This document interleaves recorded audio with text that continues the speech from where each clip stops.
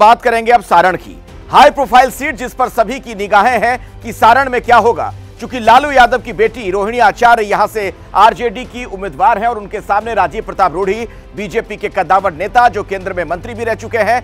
और आज की सुबह रोहिणी आचार्य क्या कह रही है, हमारे सहयोगी शशांक ने बातचीत की है, आपको सुनवाते हैं।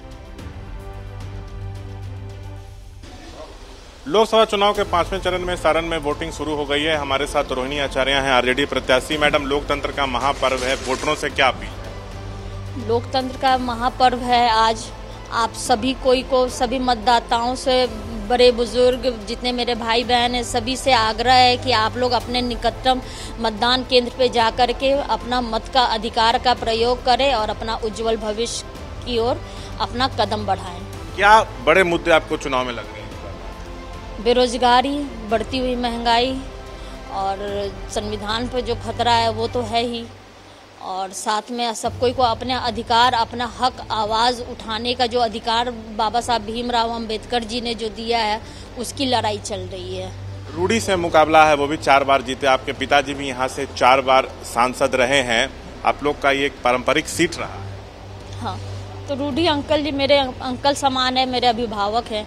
तो मुझे पूरा यकीन है कि आज रूढ़ी अंकल रूढ़ी चाचा जी मुझे आज अपनी इस बेटी को आशीर्वाद देने का काम करेंगे। कहीं ना कहीं चुनाव को बाहरी बनाम स्थानीय बना रहे थे आपको बाहरी बता रहे हैं। जो बाहरी बनाम स्थानीय बता रहे वो स्थान पे रहते कहाँ हैं? यहाँ की तो जनता बता रही है रहते दिल्ली में उनके सारे बाल बच्चे दिल्ली के पैदाइश है, दिल्ली के पढ़ाई लिखाई किया हुआ है। तो वो क्या बोलेंगे? पहले अपने घर में अपने आप को झाँक ले, फिर दूसरे के बारे में बात करें।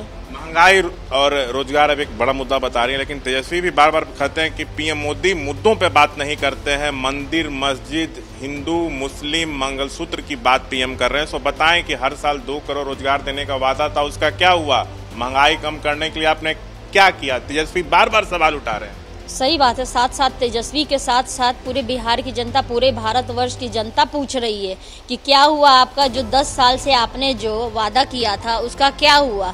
दो करोड़ रोज़गार का आपने वादा किया था, उसका क्या हुआ? पंद्रह पंद्रह लाख रुपए का जो बात किए थे, क्या हुआ? बिहार को स्पेशल पैकेज का बात किए थे, क्या हुआ? मेरे मढ़ौरा, सारण में चीनी मिल, एक प्रधानमंत्री चीनी मिल का फैक्ट्री तक नहीं, मिल नहीं खुलवा सके तो फिर क्या बात करेंगे वो?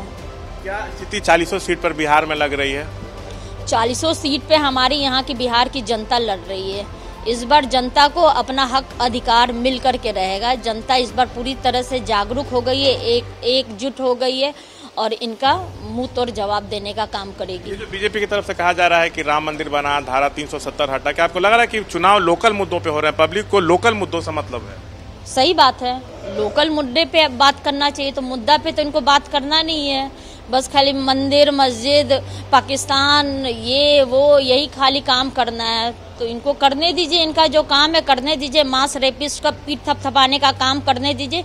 यहाँ की जनता महिलाएँ सब जागरूक हो चुकी है, सब देख रही है कि कौन किस रेपिस्ट के, मास रेपिस्ट के पीछे खड़ा हुआ है, कौन पहलवान बेटियों के गुनहगार के बेटे के साथ खड़ा हुआ है। तो यहाँ की जनता यहाँ की महिलाएँ इस बार मुँह तोड़ इनका जवाब देंगी। धान का खत्म कर सकती है? बीजेपी बार बार आरोप लग रहा है। कोई माई का लाल जब तक महागठबंधन साथ में है भारत की जनता साथ में है कोई संविधान पे खतरा नहीं हो सकता है। एक आखिरी सवाल मैडम आप अपने पिताजी को किडनी दी हैं। अपने आप में ये उदाहरण है जीवन दान दिया है। जो पब्लिक में घूमने पर लगता है कि कहीं ना कहीं आपको लेके सहानुभूति जनता में है। देखिए, पिता को जो किडनी दिए हैं, ये मैं अपने मुँह से मैंने कभी नहीं बोला है। ये यहाँ की जनता, यहाँ के प्रेस वाले ये हर बार बोलते हैं कि आपने पिता को किडनी दिया मैंने तो अपना बेटी धर्म निभाया है। तो बेटी धर्म कौन नहीं चाहेगा कि इस कलयुग में श्रवण बेटी पैदा हो हर एक के घर में? तो ये तो हर एक माता पिता सोच रहे होंगे ना, हर एक भाई बहन मुझसे सीख रहे होंगे कि कैसे अपने माता पिता का सेवा करना चाहिए, कैसे बड़े बुज़ुर्गों का आदर सत्कार करना चाहिए। लालू जी चार बार रहे तो कई काम उन्होंने भी किए। रूढ़ जी कहते हमने भी विकास का काम किया, सड़क बनाया, नेशनल हाईवे बनाए गैस पाइपलाइन घर घर गया। सो, मोदी की गारंटी, नीतीश का न्याय के साथ विकास और सारण में रूढ़ी की गारंटी, ये तीन चीज़ बात हो गया लालू जी कभी अपने मुँह से नहीं बोले कि मैंने ये विकास किया। लालू जी ने जो किया धरातल पे दिख रहा है। सारण की जनता देख रही है, पूरे भारतवर्ष की जनता देख रही है कि लालू जी ने यहाँ पे रेलवे के दो कल कारखाने देने का काम किया, जेपी यूनिवर्सिटी देने का काम किया, पुल, पुलिया, रेवा पुल सब बनाने का काम किया। और साथ ही में भाई तेजस्वी ने यहाँ पे डबल डेकर का देने का काम किया। और उस डबल डेकर को रूडी जी दस साल से दबा करके बैठे हैं, उसको बनने तक नहीं दिया है। यहाँ तक कि डबल डेकर के नीचे जितने भी लोग थे उन सबको मुआवजा के तौर पे 32 करोड़ रुपए भी देने का दान देने वाली लालू की लाडली बेटी इसी नाम से इस बार चुनाव में मशहूर हो रही है। पहली बार चुनाव मैदान में है। पहली बार सारण सीट से चुनाव लड़ रही जैसे ही घड़ी का काटा दोपहर ढाई पे आए बबीता जी का दिल सास बहू साजिश के लिए मचल जाए। और ये है इनकी बहू। पूरे दिन ऑफ़िस की टेंशन हो जाए गॉन जब ये करें अपना फेवरेट शो फ्री टाइम पे ऑन इनकी तरह, आप भी देखिए अपना फेवरेट शो अपने टाइम पर. और डाउनलोड कीजिए एबीपी लाइव ऐप अपने स्मार्ट टीवी पर.